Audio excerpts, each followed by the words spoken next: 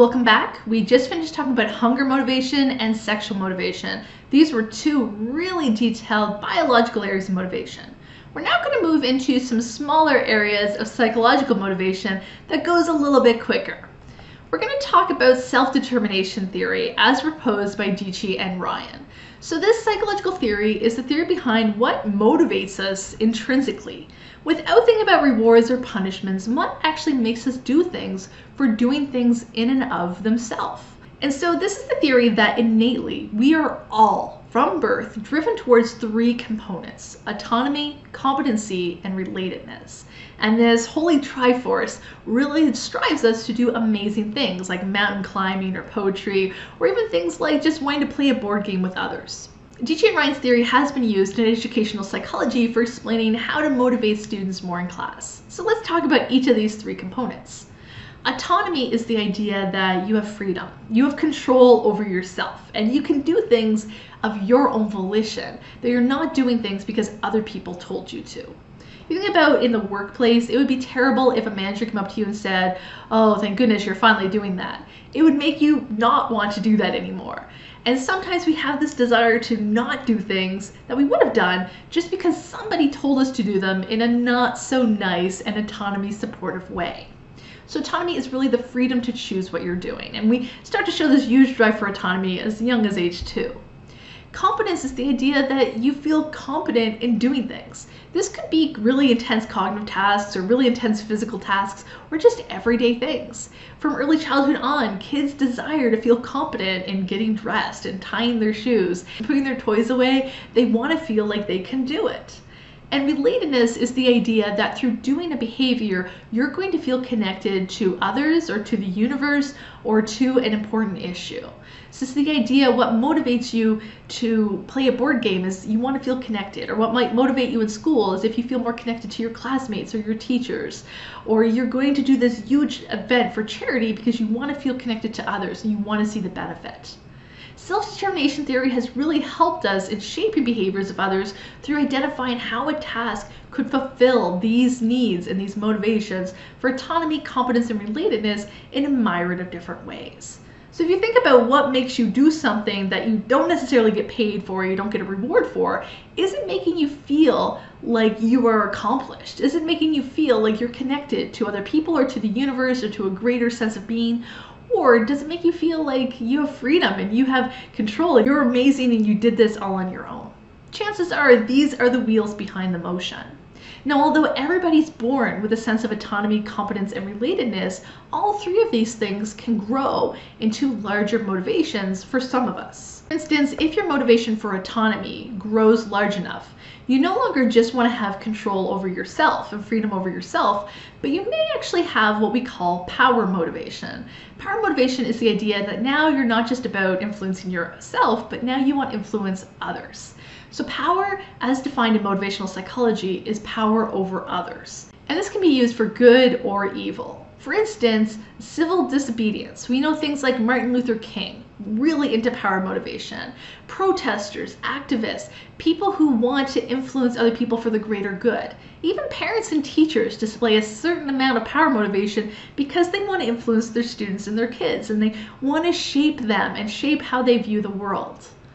This can also be, of course, for evil, people that are dictators or tyrants, or people who are just wanting to overrule others for the sake of overruling them.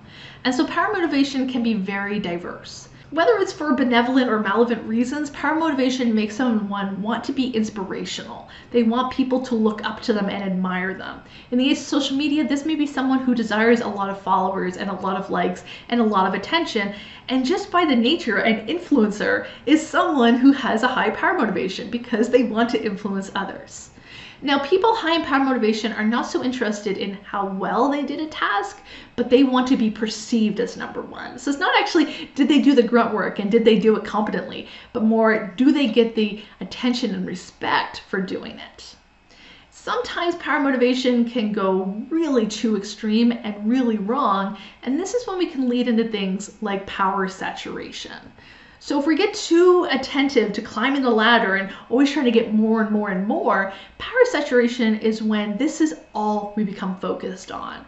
That we don't really tend to other parts of our life. We stop trying to look on relationship maintenance or health maintenance, and we're so consumed by our desire for power. This is actually linked with a low level of success. In a study in which five individuals sat around a table and attempt to solve problems, some of the tables had an individual who scored very high in power saturation, and some tables did not. And all the tables were given the same series of problem solving tasks what they found is the test required everyone to, to work together, to share their perspectives, and five minds together are better than one.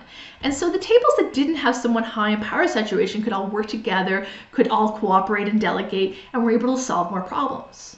But the tables that had one individual high in power saturation actually didn't solve the problems as well. The person high in the power saturation would do all the talking, they wouldn't listen to the other four people's perspectives, and they were more obsessed with the other four people hearing them out and dominating over them than they were in solving the problems. So because of that, they worked less efficiently.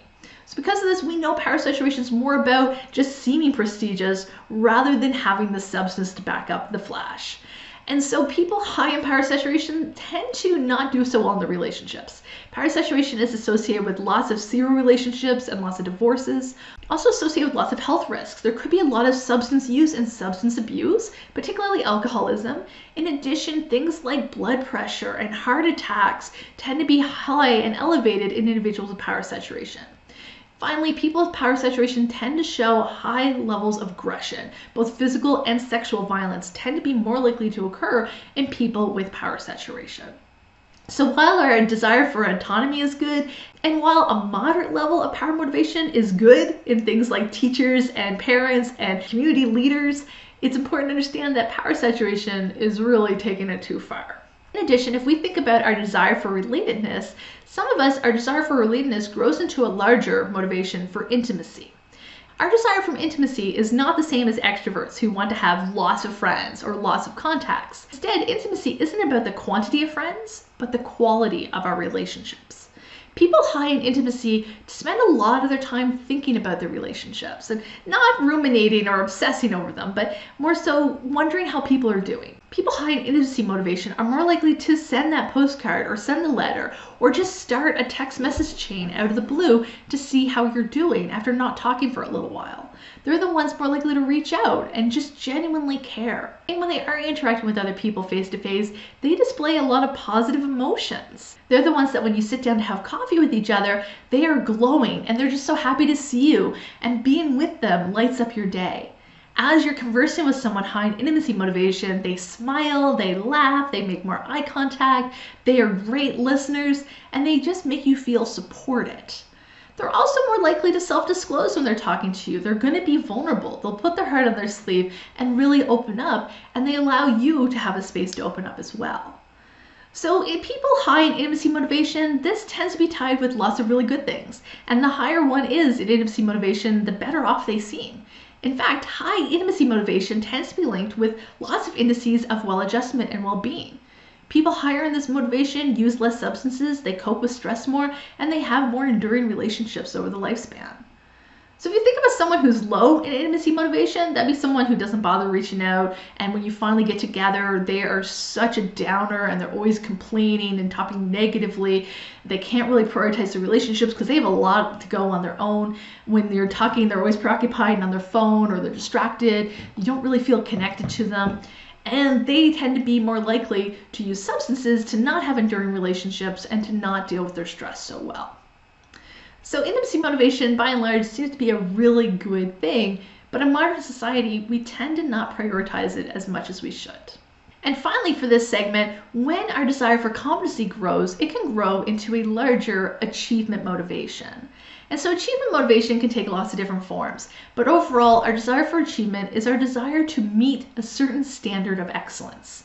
And these standards of excellence might be based on just completing a task, they might be based on competing against yourself and your prior efforts, or they might be based on competing with others. Let's take running for example. Maybe you just want to run a marathon to say that you've run a marathon and you don't care about how you do in the race or, or how other people want you to do, you just want to be able to say you did it. Or maybe you're more interested in running a marathon and beating your previous time.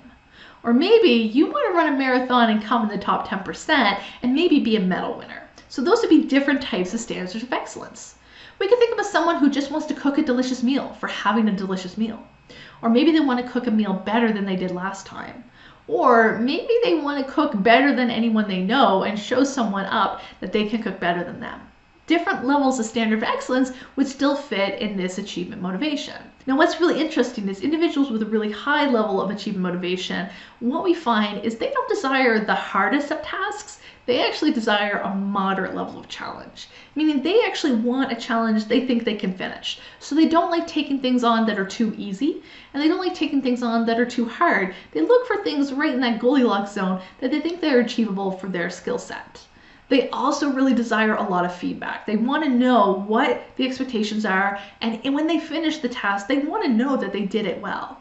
And finally, they really desire tasks that can be their own personal responsibility. This means individuals high in achievement motivation do not like group work. Group work can be really frustrating to individuals who are high in achievement motivation. Now, when it comes to things like relatedness and intimacy, or autonomy and power, or competency and achievement, it's important to point out there are some gender differences here. We know that historically it's been harder for women to display high power motivation, because even a moderate level of power motivation often gets women heavily criticized in public. We also know that it's harder for men to display a high intimacy motivation. That is starting to gradually change, but we know that historically it's been harder for men to really show this softer side and this prioritization of this emotional and psychological intimacy. And one final thing, it's possible to have lots of combinations of these motivations. You could have high power, high achievement, and high intimacy motivation, or low in all three, or many different types of levels amongst them. So they're all considered to be pretty independent with one another.